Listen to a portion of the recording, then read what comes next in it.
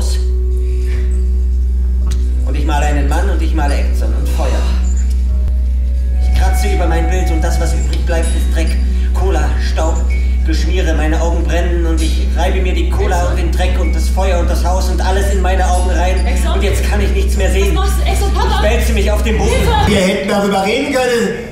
Das hätte doch Bruno gar nicht gemerkt. Sie hätten uns ein paar Tage Horror sie halt irgendwann dieses Kaff, wo ihre Verwandten sind und da gibt es nichts. Kein Haus, keine Wohnung, nichts.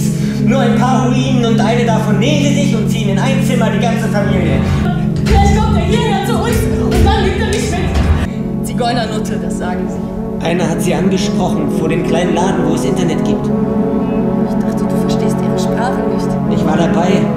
Er hat ihr die Cola gegeben. Sowas versteht man. Einer von den Polizisten hat zu Elvira in der Nacht gesagt,